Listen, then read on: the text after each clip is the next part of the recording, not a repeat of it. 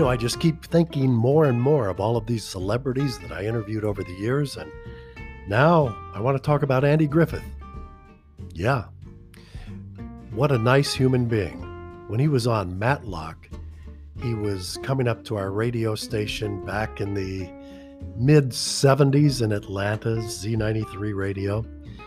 And we had this old sofa and right next to our studio.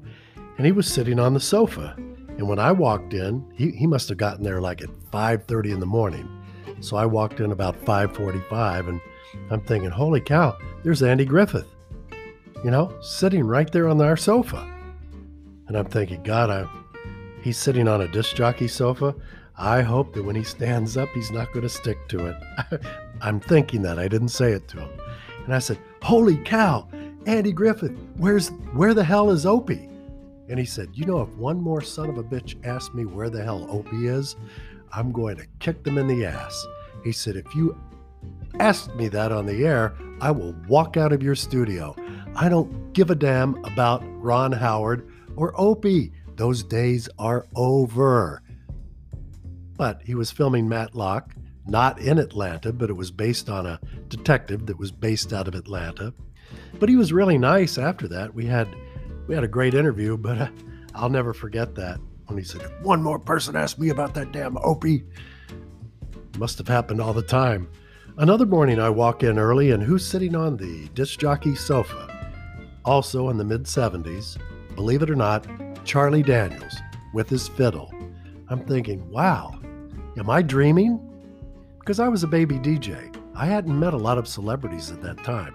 I got out of the Navy in 1972, and then all of a sudden I'm on a pretty hot morning radio show, and Charlie Daniels is there. And I say, Charlie, how are you? He said, You must be Scott Woodside. And I'm thinking, Oh, God, the ultimate compliment. This man knows who I am and he was smoking a cigar. But back then, you got to remember, or you don't have to remember, but back then you could smoke in a studio. So he's smoking a, stu- uh, a cigar, and we're waiting for my part. And he says, Would you like a cigar? I said, No, I'm a cigarette man, but thanks. Uh, great interview, great guy. He was on the show numerous times and just always so complimentary. Just, you know, some people you just never forget because they're so nice. Another guy, Martin Mull in the mid 70s. And back then, he was a brand new upstart comedian on uh, Capricorn Records, which was owned and operated and produced by Phil Walden, who discovered the Allman Brothers. Charlie Daniels was on his label, and uh, the Atlanta Rhythm section, and on and on and on. But he was the only comedian on the label. I did an interview with him once, and the guy started cracking up. Everything I would say, he would start laughing. He says, Do you mind if I use this? I said, No, I don't mind. And because I'm freaking out. At the time, he was on this really hot TV show also called Mary Hartman, Mary Hartman. But he was so cool. Well, right a couple of days later, after doing that interview with Martin Mull, I got fired. And I don't know, I always got fired for doing the right thing. That's just how what happens in broadcasting.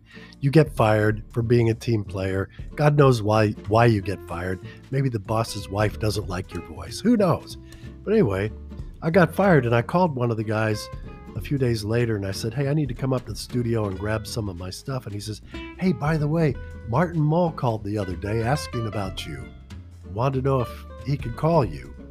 I said, Really? Yeah, he said you were really funny and he needed to talk to you. And I said, ah, Oh, no. I thought the guy was kidding me, so I didn't give him my phone number. And I never talked to Martin Mull again. You just never know where the crossroads in life are going to take you, do you? You never know which one to choose. So I was just a smart aleck kid in my 20s and went, Oh, okay, he's not that big of a deal. Little did I know, right?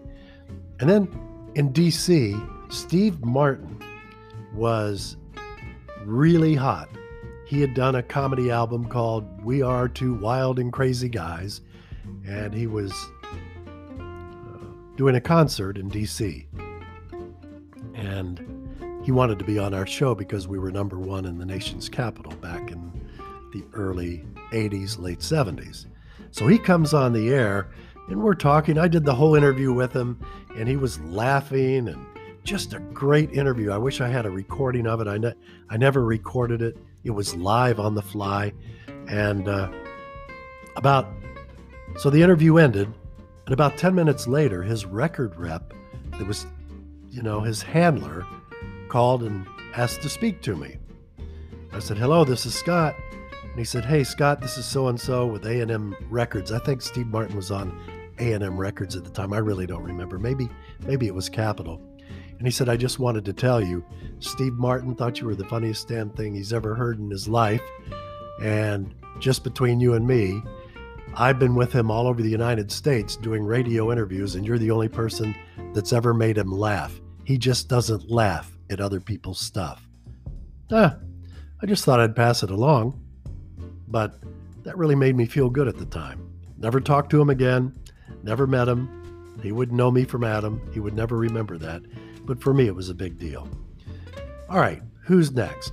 Yakov Smirnoff. You remember this guy? He he was out during the mid 80s and he would badmouth the Soviet Union, Russia, Gorbachev, everything. And he was funny. He was a hit across the United States. Every time he came in town to do his comedy shtick, he would come on the air, come on our show. He had an open invitation. He was funny as hell. And this was all during where we were everybody was making fun of the Soviet Union and la on and on and on. And uh, had him on one morning live, and I kept smelling dog crap or you know feces. I kept smelling it, and I'm thinking, this guy, uh, this guy stinks.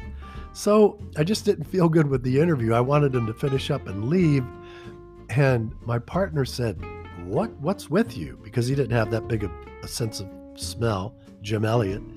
And I said, Did you smell that guy? So when, when Yakov left, I said, Did you smell that guy? He smelled like dog crap. so about 15 minutes later, I walked back into the studio where Yakov was, and it still smelled like dog crap. And my partner said, If it still smells like dog crap, maybe you ought to check your own shoes. I did. Back then, when I lived in DC, I lived in a red brick colonial with a garage that probably wouldn't even house a Mini Cooper, so I parked the cars outside of the house in the driveway.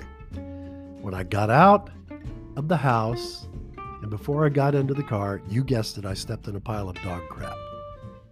And I feel so bad. I never saw Yakov Smirnoff again. I always said maybe I need to go to Branson where he's performing and say, hey, Scott Woodside. He would remember, but I don't he probably couldn't wait to leave, wondering why we smelled like dog crap. I don't know. I, I had to share that with you. I've got so many stories. Just, you know, keep coming back for more, and I'll keep trying to come up with more. You take care.